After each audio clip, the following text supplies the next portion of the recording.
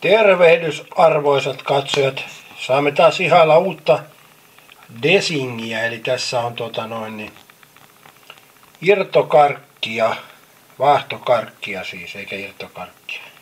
Ja nämä on säilytty tämmöiseen astiaan, joka maksoi 10,95 Prismassa.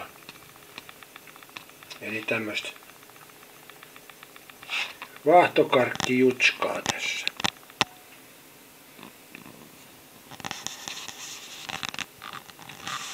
Niin tämmönen uusi villitys ja saa nähdä kauanko tää kestää tää purkki.